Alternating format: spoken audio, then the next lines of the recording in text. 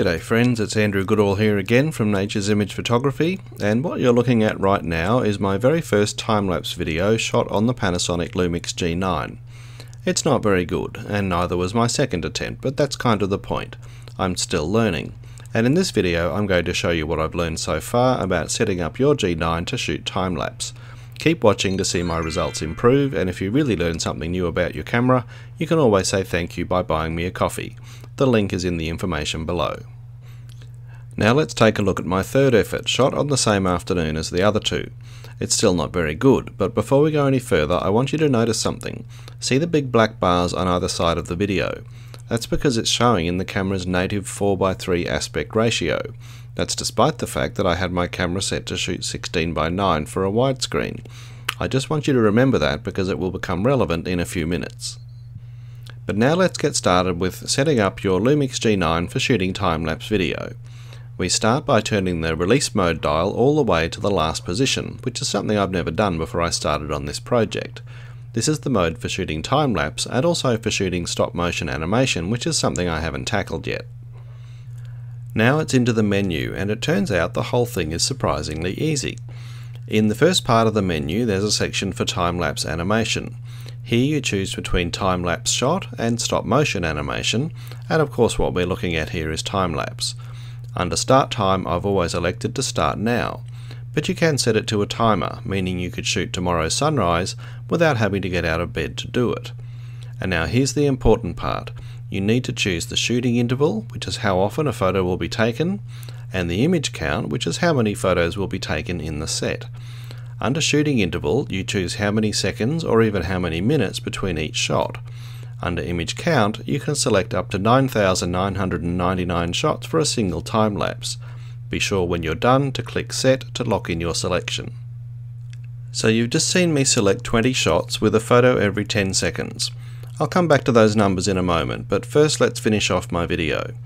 I only have to press the button once, then the camera takes over and the sequence is underway.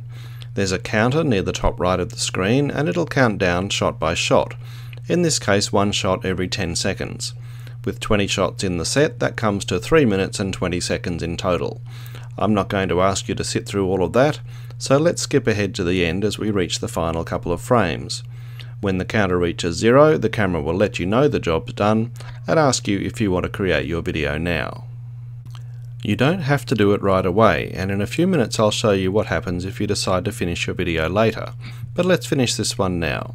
First you have a few decisions to make.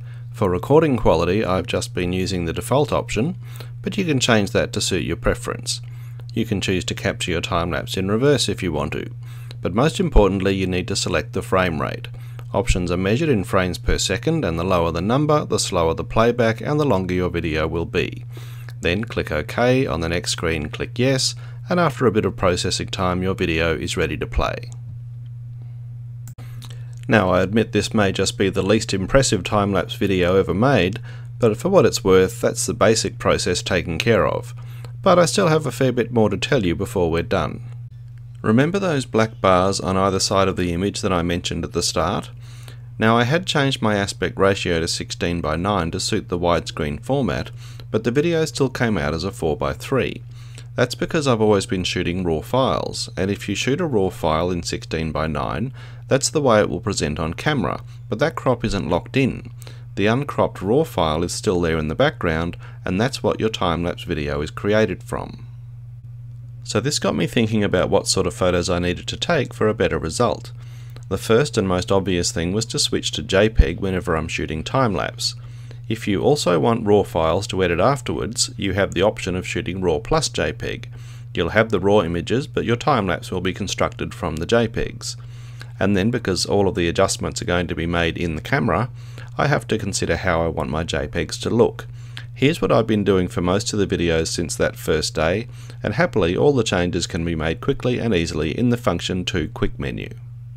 First I go to Quality and select JPEG. As I said, you could select RAW Plus if you prefer. Then I go to Picture Setting and select my 16 by 9 aspect ratio. Now because I want consistency in my colours throughout the entire sequence, I go to White Balance and instead of my usual AWB I've been using Daylight. And to add a bit of punch to the impact of the videos, I go to photo style and instead of my usual standard setting I've been using vivid. Of course these are all personal choices and you might prefer to do things differently, but these are all decisions that need to be made before you start shooting. There are just two things left on my list now. I switch my mode dial over from my usual manual mode into aperture priority. That's because I want the changes to the exposure over the passage of time to be as seamless as possible. And finally, and this is important, I put my focus mode to manual focus.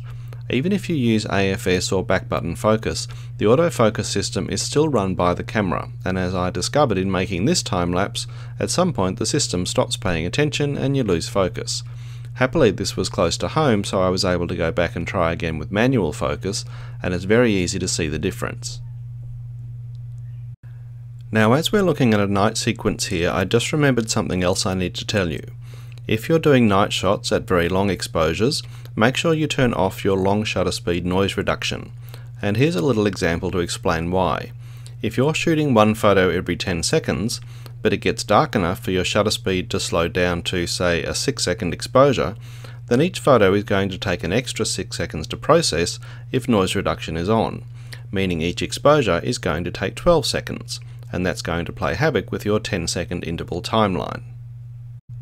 Okay, we're almost done, but I still have to tell you what happens if you decide to record your time-lapse video later instead of doing it right away. This could just be because you're in a hurry to take some more photos, or it could be because you've made your video already but you're not happy with the speed and you want to try again with a different frame rate.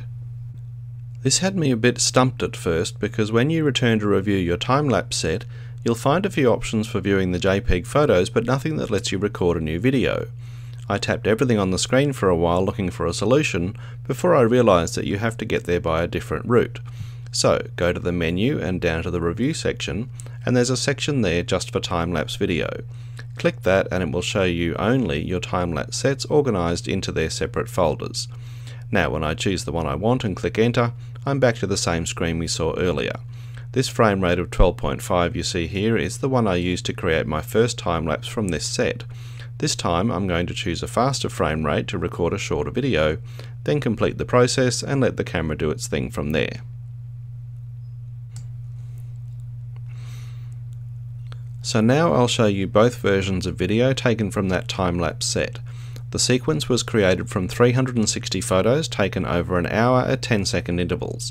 That's 6 photos every minute. And yes, there is a little bit of basic math to be done before you start shooting to make sure you get your timing right. First, here's the one you just saw recorded at 25 frames per second, and then the second one you'll see was recorded earlier at 12.5 frames per second, and so it's obviously twice as long. Now it doesn't really matter which one you like better. The main takeaway from this is that you can create your video now or you can create it later. But it's all done in camera so you need to make sure these decisions are made before you delete the photos and format your memory card. If you're not sure which frame rate works best for you, it's not a bad idea to create a couple of versions.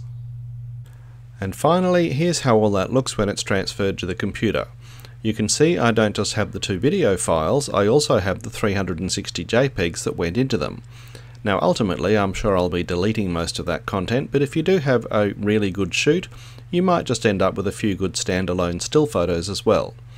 And that's my look at time-lapse photography on the Panasonic Lumix G9.